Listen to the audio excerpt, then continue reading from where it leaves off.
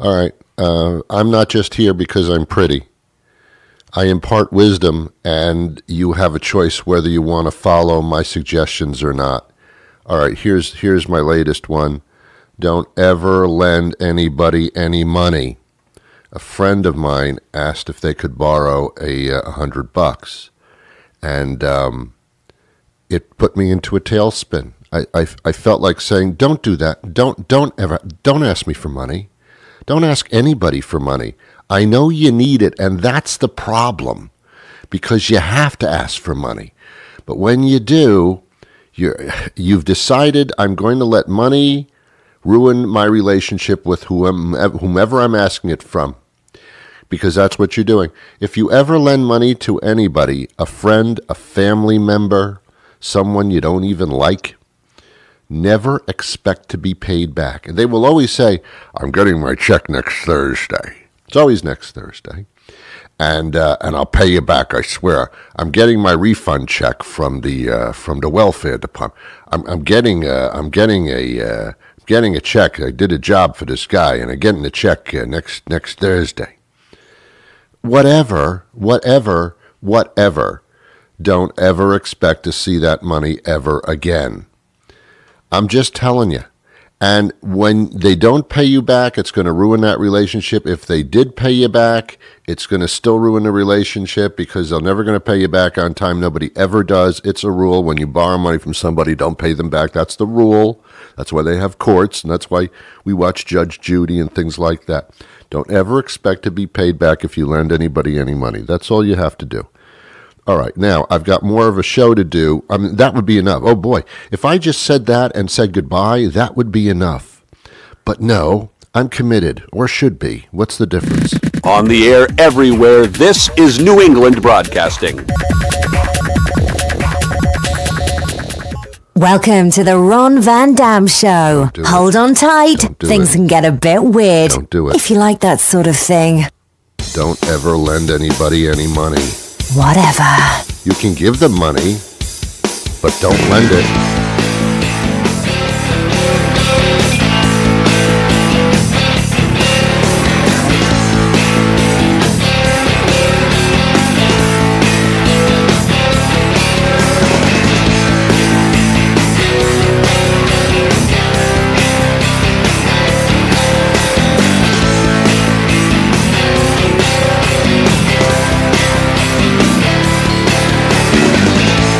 Say good morning. Good morning, good afternoon, good evening, good night. It's the Ron Van Dam Show. Thank you.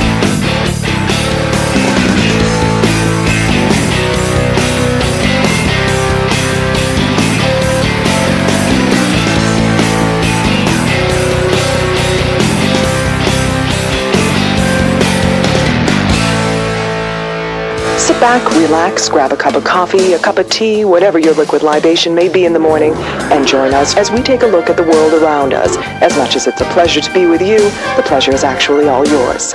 And now, here's your host, Ron Van Dam. You know, uh, this is my first rodeo. I went to a rodeo last week. Um, it was disgusting. I had a hot dog, and that was it. Now, this isn't my first rodeo. I've been doing some version of this show on the radio since 1989. That's older than most of you. Some of you weren't even born yet, you feckless little idiots. Ron, what are you doing? You're alienating your audience. I know, that's what I do. 1989. What the hell is that about, huh? So I've been doing this a while. So you need to cut me so much slack it's not funny. Nearly 30 years of this thing. Ron. Wow. That's amazing. It is amazing. It is amazing. And the amazing thing is that during those 30 years, I don't think I ate any liver. I went to a, uh, a delicatessen with a friend last Friday.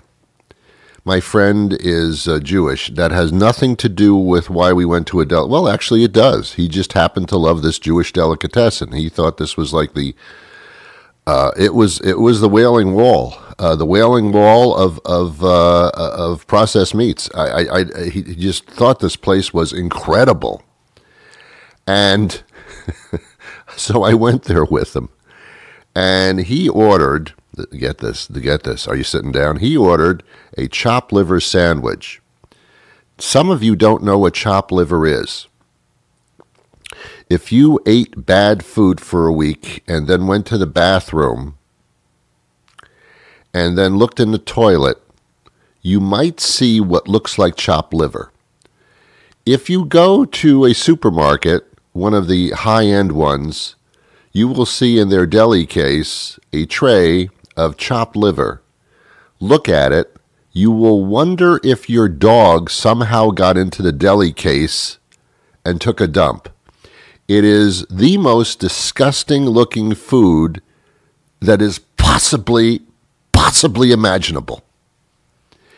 It looks like a giant pile of loose stools. Now, excuse me for going there, quote unquote, but it does. It doesn't smell like it, but it sure does look like it. So, we go into this delicatessen, this Jewish delicatessen, and he orders a chopped liver sandwich on rye. You must always have chopped liver on. Any any uh, Jewish deli sandwich you must have on some form of rye bread.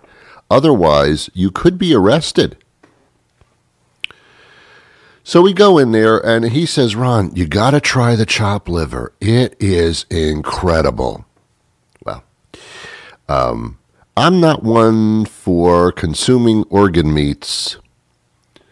Although I suppose if you're going to chop up a liver, it's more palatable than just putting a liver on a plate, saying, here's a living thing's liver go to town, enjoy. I mean, I could not do that. I'm sorry, I could not do that. My mother, interesting side story that you're probably not interested in.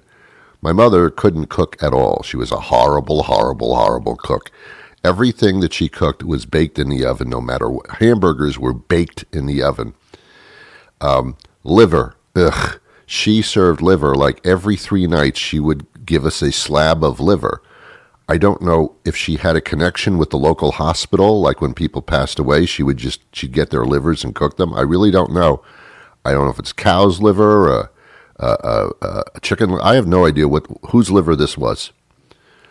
But she would take the liver and put it on a plate, and we were supposed to eat it. And she thought it was very high in protein. No, you're turning me into a cannibal, is what you're doing. Here's the most disgusting part of, and, and by the way, my mother seasoned nothing, salted nothing. Uh, it was it, whatever we ate. It was just that meat in the oven at 350 for an extended period of time. Uh, it's amazing that I'm alive. It is amazing. My grandfather died of a liver disease. She had the nerve three days later to serve us liver. I had never been more grossed out in my life. But she did this. My mother was a horrible, horrible cook. My parents are divorced, and I'm convinced it's because of her cooking. I'm convinced of that. I don't think it has anything to do with sex, money, uh, disagreements, arguments. I think it had to do with the fact that she damn well could not cook. Anyway, that's a deal breaker. That, by the way, that's got to be a deal breaker. By the way, uh, when we went traveling and we would uh, go down these small little routes, you know, in, in these little states, these little cities and towns, there'd be signs on the side of the road that said uh, home cooking. Um, uh, home cooking, stop here. Uh, Betty's home cooking. And I would say to myself, uh, I, I never want anybody's home cooking ever again. I will not take anybody's food out of a home cooking place. This is all because of my mother. Anyway, I had a great aversion to liver. No liver, thank you. No liver, liver, liver, liver, no, no, no, no, no. I used to stuff the liver in my napkin and flush the napkin down the toilet, which worked for years until the toilet backed up and my mother nearly slapped the liver out of me. Anyway, Uh, and I was a very skinny child. Guess why? Because I wouldn't eat her damn food. You know who consumed all of her food? My napkin. My napkin was fat. I was very skinny. Seriously, that's a true story. Anyway, so we go into this deli. Well, Ron, well, you went so far off the mark, it's not funny. Uh, so we go into this deli. He orders the chopped liver sandwich, and he says, Ron, you got to try it. Well, me being uh, very persuasive, uh, or I'm not persuasive, actually. I can be persuasive, but I can also be persuaded. He, he said it was the best in the world, and, and I hadn't had a, a slab of liver or a piece of liver, any, any reasonable facsimile, since my childhood. So I said, okay, you know, I'm going to get the chopped liver as well. Figuring that um, chopped liver has got to be better than a slab of liver, I will never do again in my life. A chopped liver, all right, different consistency, all that kind of stuff. So I ordered the chopped liver the same way he does, figuring he knows what he's talking about. I will duplicate his sandwich. It comes with a bag of chips, uh, uh, which I suppose is a very Jewish food. I did not know that, but apparently in a deli, you get a bag of chips. I said no chips for me, thank you. I'm not into the chip thing. I mean, I'm not going into a restaurant and getting a bag of chips. I mean, this is so so stupid.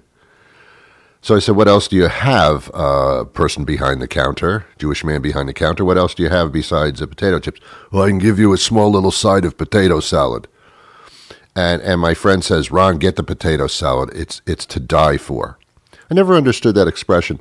I, I, there's no food that I would decide that that is worth death. I would never, I would never say, mm, I really should not eat this. I could die from it. Let's go for it. Uh, and then there's an actual there's a chocolate ice cream called Death by Chocolate. Same deal. I mean, I guess if you're going to die, to go by the way of chocolate, I guess is okay. But I don't think I'm prepared to die right now based on eating some ice cream. So, no. Anyway, uh, so I try the potato salad. We sit down at a table. It's not a nice table. It's it's a dirty formica table, and we sit there. And he loves it. He thinks he's he thinks he's died and gone to heaven, which you can with some of this food apparently. So he says, Ron, try the potato salad. He watches me eat the potato salad like he's getting an orgasm watching me eat this stuff because he's so highly recommended it. There's something wrong with these people. There really is.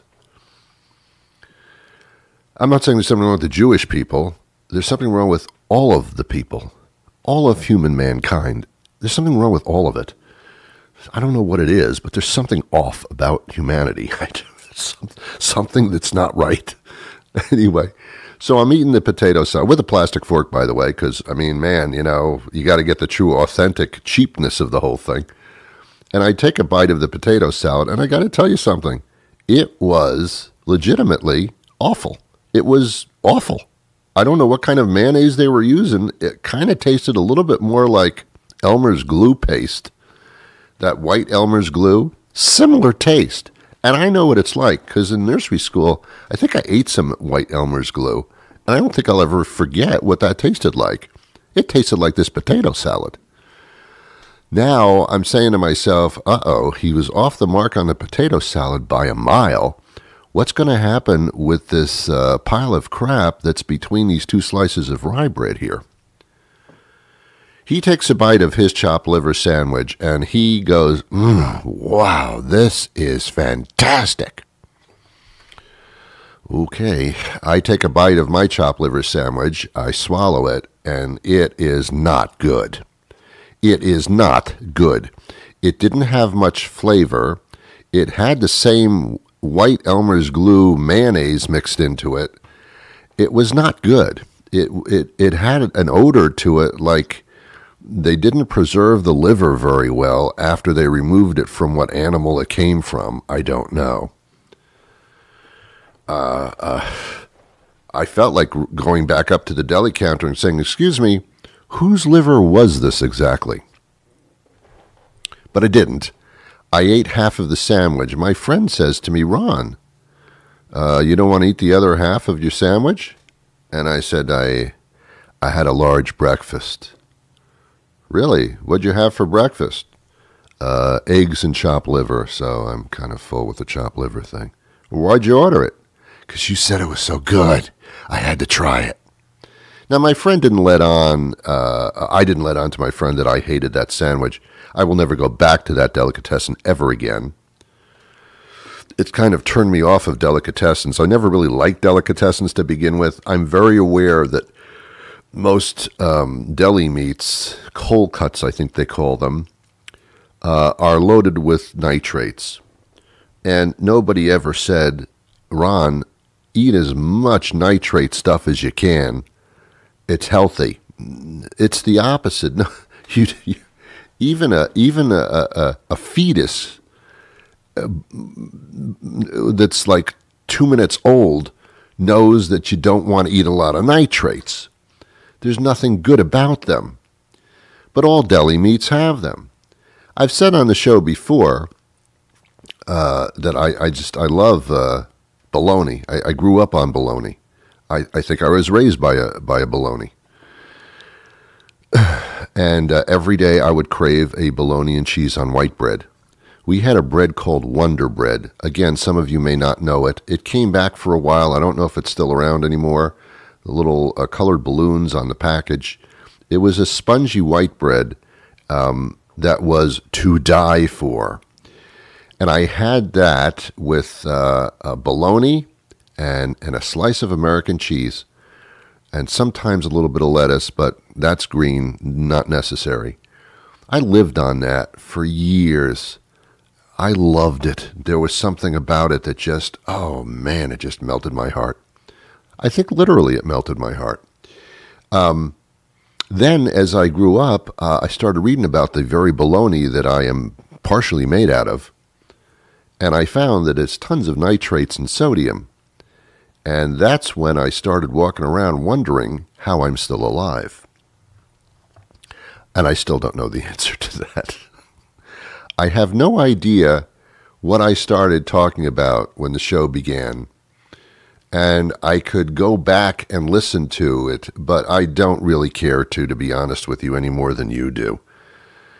But um, I, I I'm scared of deli meats. I Halloween is a perfect deli meat holiday for me because I am scared of deli meats.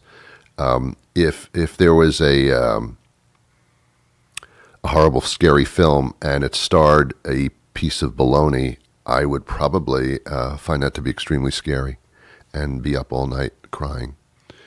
As a matter of fact, uh, I think that next Halloween I am going to get some sliced deli meat. Not even from the deli. I'm going to get that that real nitrate stuff. The, the that like Oscar Mayer packaged bologna.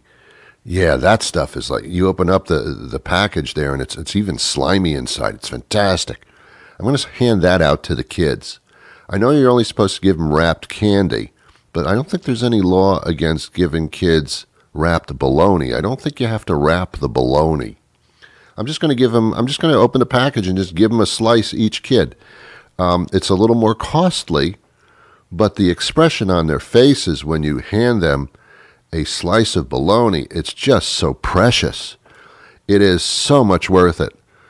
And um, I may be extra really extra uh, nice this Halloween and actually also give them a slice of American cheese to go with the slice of bologna. Uh, yeah, yeah. No candy. Candy's not good for you. Neither is bologna, but what's the difference, you know? If you're going to uh, ruin these, uh, see, it doesn't matter. When these little kids, see, see, see, see it doesn't matter. it doesn't matter when these little kids are, are going house to house on Halloween, they're like between, they're like five to eight years old for the most part, you know? And it doesn't matter. They're so young. They can eat anything and it doesn't, they're not going to get fat necessarily unless they've got some gene problem from their parents. They're, they're going to eat every piece of candy uh, that they're given within a two, three day period. They're going to get sick anyway. Um, little kids don't really, they bounce back, they heal very quickly. You can even push them down. You shouldn't, it's against the law. But if you push them down, they would bounce right back up again. They might get a little scrape. Two days later, the scrape's gone, their skin is healed. What's that about? Is that magic? Is that voodoo or something? That's like magic healing. No, it's because they're little kids and their little cells are just like working overtime. Um, so it doesn't really matter what you give them. You can give them like a, a whole glass jar of, of congealed lard. Um, they won't die from it, really. Even if they go to the hospital, they'll be out in a few days. You do that to like a 40 or 50 year old or a 60 or 70 year old, and you've pretty much committed murder. It's so different. Older people don't heal. You can push them down, they won't get up. Not till the ambulance arrives. No, it's very different. So it doesn't really matter what you give the kids. I mean, you, you know, you don't want to give them anything harmful that could really, you know, hurt them. But uh, a slice of bologna? Who's going to get hurt by that? You don't want to slap them with a slice of bologna as much of a, as a great sound it would make against their cheek. Um, you're not allowed to touch the kids. I learned that. There's little signs on the kids' foreheads saying, don't touch these people. These little people with tiny heads and tiny arms and tiny bodies. Don't, don't touch them. And now you can't touch the adult ones either. It's kind of making life really boring. But nonetheless, um, it is a good opportunity to get rid of all that extra bologna. Uh, if you go to the deli, bologna is the cheapest deli meat there is. You can get bologna like for two dollars a pound or something if it's really bad bologna, and that's very economical for Halloween. Actually, it's a lot cheaper than candy. So I'm not suggesting that you buy like five pounds of bologna and give it out on Halloween, but it is the cheaper route, and it really will raise the eyebrows. So um, it's totally up to you. I mean, you know Far be it from me to tell you how to live your life, but you do what you want. Ron Van Dam likes to treat every listener as someone with whom he is having an intimate, personal relationship. Although no money changes hands, there are fewer sticky bodily fluids, about half as many apologies, and he probably won't have to get rid of your body in the long run. Other than that, it's a pretty standard relationship for Ron. You're listening to The Ron Van Dam Show.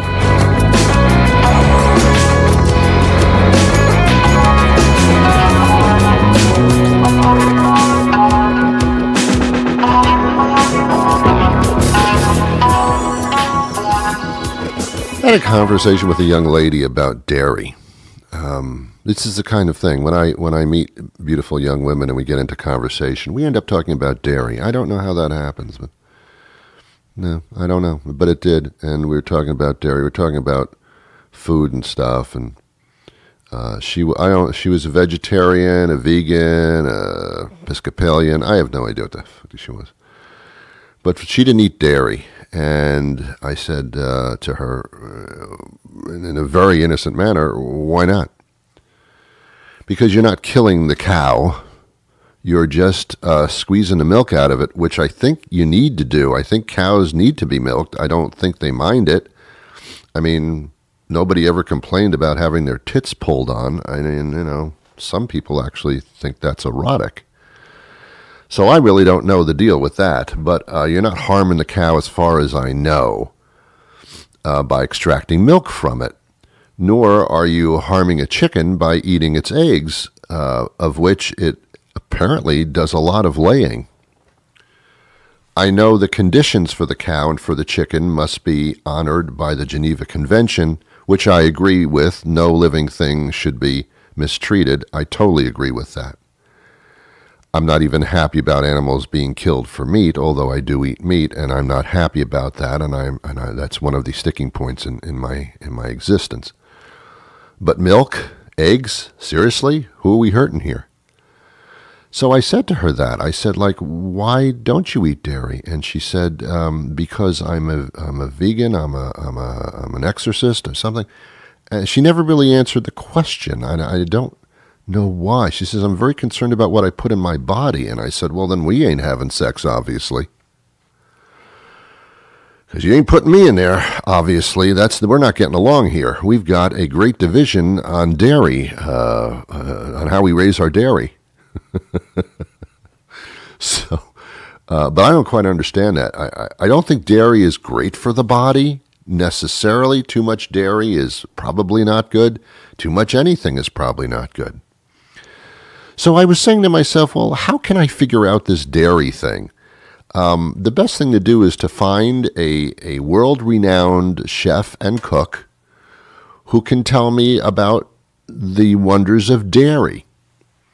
Well, I found one, and her name is Ceci Carmichael. She's been on the show before. She's also hosts her own Food Network program. She is a world renowned chef, and she I got her to actually talk to me, which is fantastic. Now, we've talked many times before. She's a regular guest on the program, and we go to her when we've got these kinds of questions, and then I usually end up asking for recipes.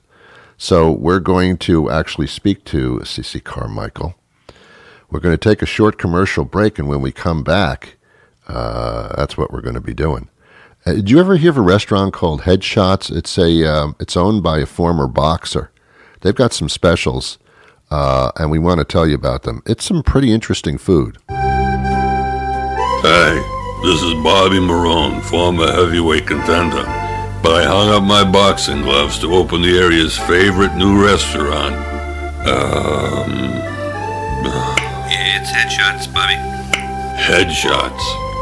Hey, this month we're starting something new at Headshots. It's our all you can eat, nothing but meatball brunch. That's right. You can come to Headshots and load up on all your favorite sausage.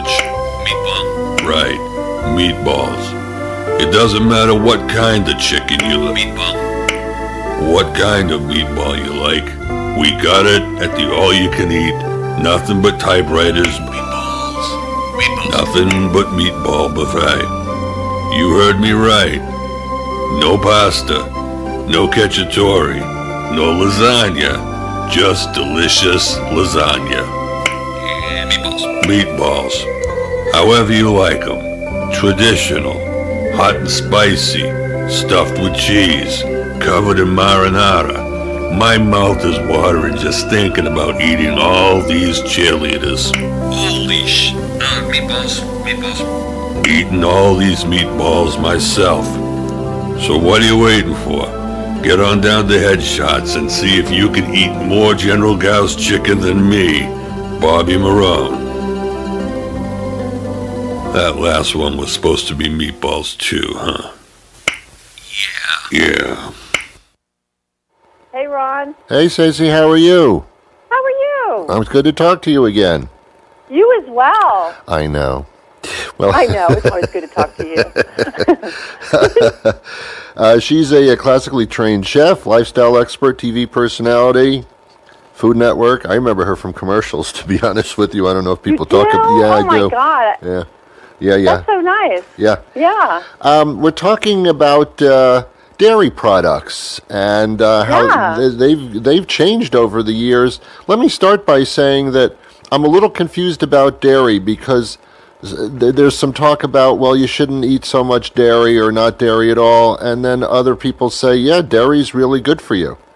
You know, I'm I'm a big I'm a big fan of moderation, and the thing is, in the dairy aisle, this is it, it has evolved so much to align with consumers' changing lifestyles and mm-hmm. eating habits. So it's not just like in the old days when you go get milk, eggs, and butter. It's it's gone so far beyond that, and the versatility of everything. There's just so many product options that lend themselves to you know small meals portable snacks Yeah. and you know really great easy fun entertaining ideas Yeah. and the selection i mean it's like yogurts um, pro- any kind of proteins fun trendy beverages organic milk cheeses and dairy alternatives i think is is a, a category that's really exploding it's really exciting to exciting to see Yeah, yogurts are very interesting because they're supposed to be incredibly healthy. Uh, I'm I'm confused between Greek yogurt and other kinds of yogurt and stuff, but they come in drinks. They come in squeezable, uh, uh, softer things, and uh, different. Yeah, it's just it's- like wow, a whole it's a whole new category of food. I think.